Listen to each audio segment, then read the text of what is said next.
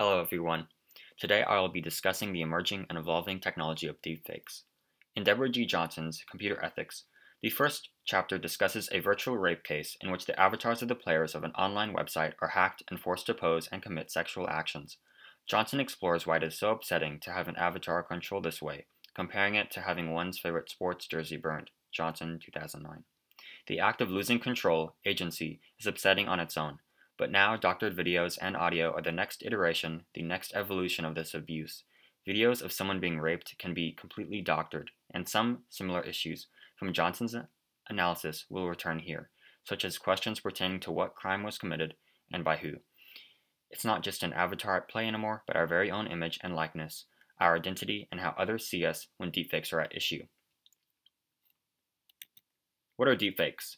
Besides simply saying it is a sophisticated technology that can create fake news or media, it is difficult to say, as it is still developing and branching off in, into different aspects of our senses. For now, examples of their use may help to define it.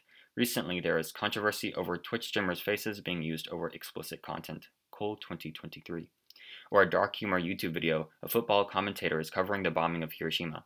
Less harmful, we have seen memes of President Biden and former President Trump and Obama playing video games together and arguing in vulgar fashion.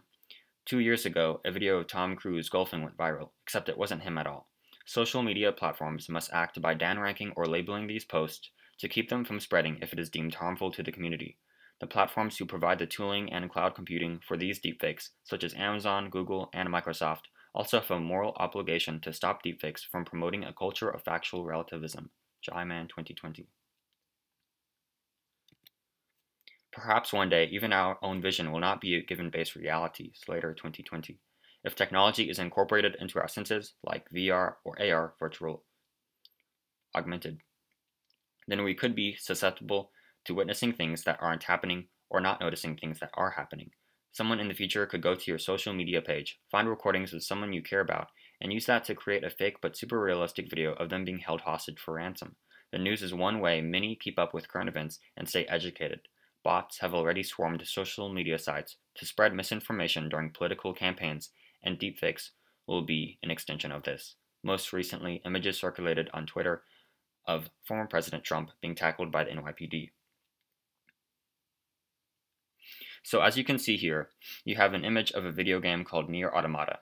If you don't get the reference, it's a story about these androids whose task, whose mission, is to defend humanity from invading aliens.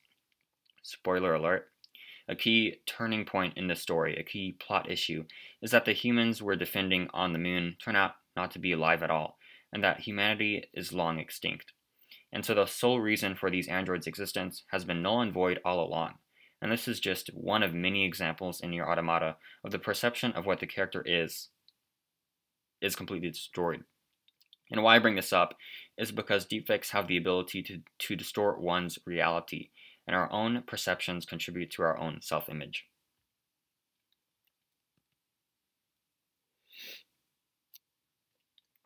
So far, a lot of what has been said has been negative.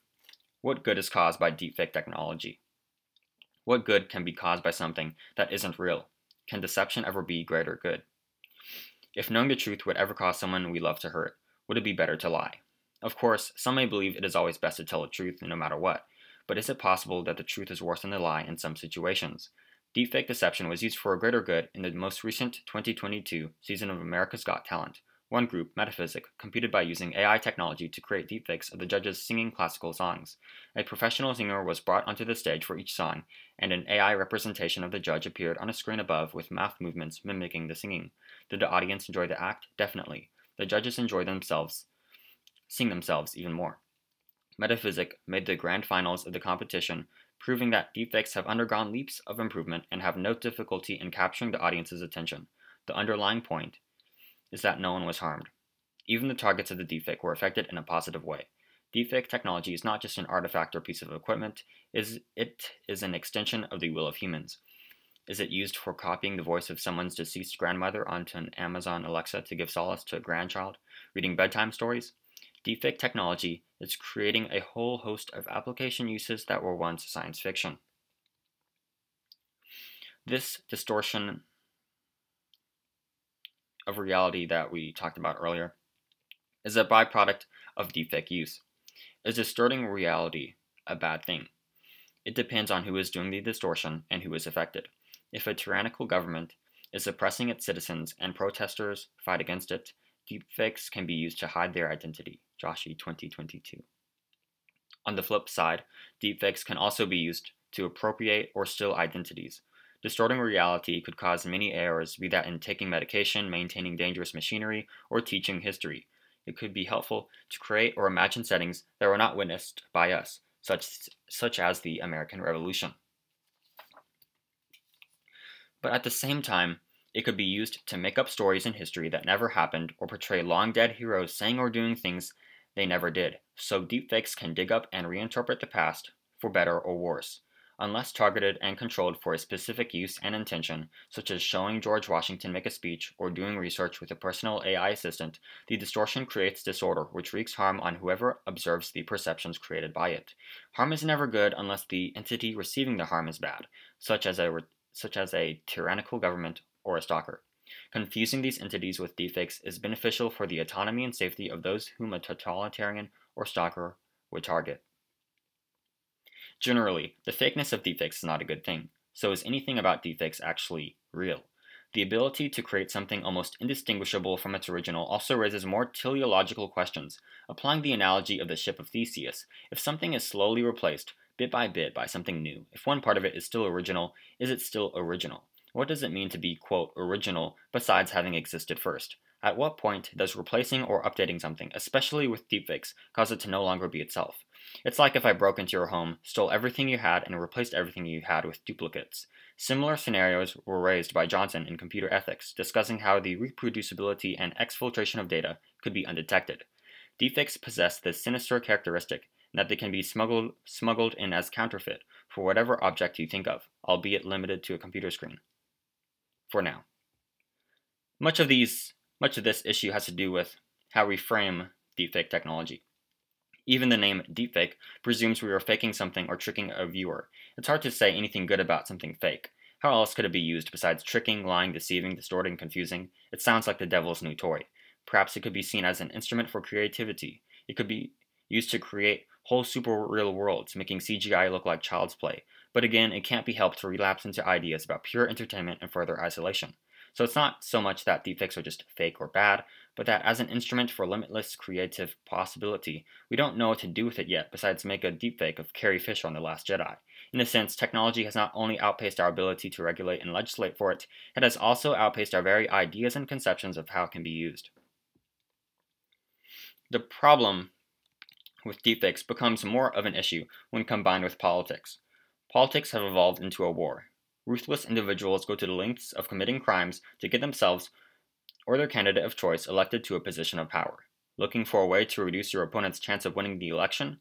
Create a deepfake of them that attacks their qualities. It could be anything fake audio, fake statements, fake appearances, fake personalities, any media your opponent has that strengthens their campaign. Nancy Pelosi fell victim to deepfakes when an individual created a video of her with the speech slowed down, making her seem drunk. Brown 2020. Instead of making Pelosi outright say something that would harm her status, this individual associated both alcoholism and unprofessionalism to Pelosi's character. This is equivalent to gossip in high school, spreading rumors about someone to make them make people not like them.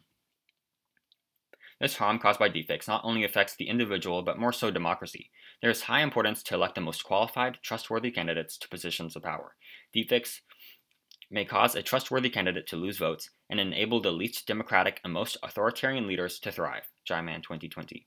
Politics have evolved to the point where arguments may no longer be based on how the candidate will better society. A lot of the arguments now attack the opposition by explaining why the opponent is bad for society. Deepfakes empower this type of argument even more by giving candidates or followers power to attack the opposition status. There is no longer there is no problem if candidates use the mistakes or bad qualities of opponents to advance their own campaign. However, deepfakes do not fall under the same category because they are fake, as discussed earlier. A politician can use a video of their opponent saying something inappropriate as long as it actually happened. This is fair competition and can enhance a justifiable argument. However, they should not be able to use a deepfake video of the opponent stating an inappropriate phrase as the basis of an argument. How can a society place their trust in a leader that won their position due to fake videos? Will they now use fake videos to spread to the public even more?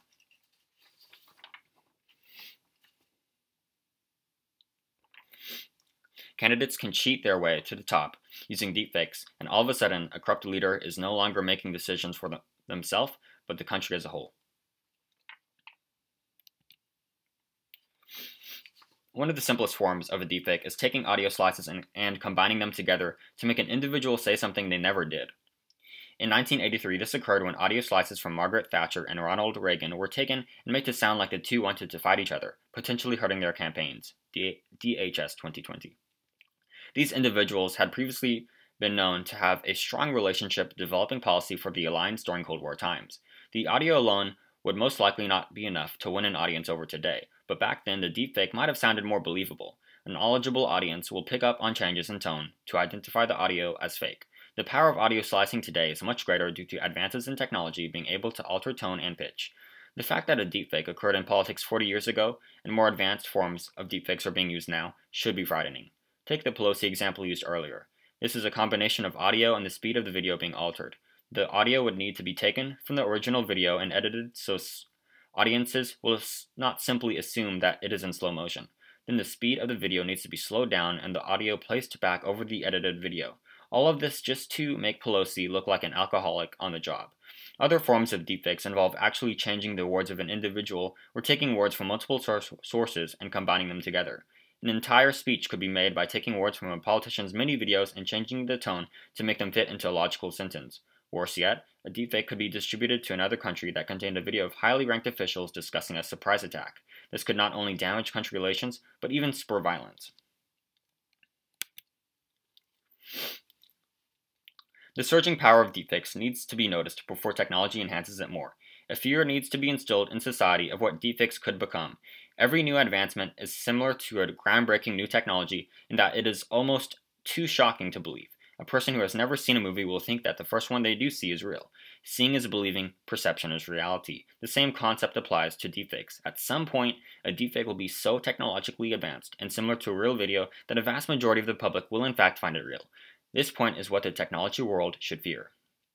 A new type of cyberbullying that can be devastating for victims has developed as a result of the rise of deepfake technology. Not only is it possible for someone to fabricate a fake image or a video of a person engaging in inappropriate or humiliating behavior, the sheer difficulty in telling the difference between what's real and what's not can significantly harm a victim's relationships, reputation, and mental and emotional health.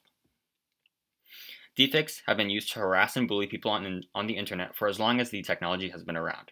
96% of deepfakes are pornographic, with, with, with 134 million views exclusively objectifying women through the means of AI. Jaiman 2020. The rising number of pornographic deepfakes is a troubling trend that dehumanizes women, supports harmful gender stereotypes, and contributes to the normalization of sexual violence. Policymakers need to work on creating clear legal frameworks that address the production, distribution, identification, and intention of deepfakes. Deepfake cyberbullying is a growing issue that all parties involved must work together to solve. We can create effective policies that protect individuals from the harm caused by deepfake cyberbullying, educate the public, and develop new technologies together, but it will require a complete overhaul of our modus operandi when it comes to what we as a society and as individuals value and the underlying principles we have followed, some of which are only now being exposed by deepfake technology. Deepfake technology is another iteration of the extension of human will, as aforementioned. Some wills are good, some are bad. It is up to us to make sure that this powerful technology doesn't fall into the wrong hands. But when all else fails, it's also understandable to turn off the phone, turn off the TV, sit outside, maybe with someone you know, and just stop thinking about it for a moment. Real or not, it may take a martyr's dedication to withstand the condemnation of society, family, and friends, to stay true to one's own original intentions, to not forget who they always were, no matter what man or machine may say or think.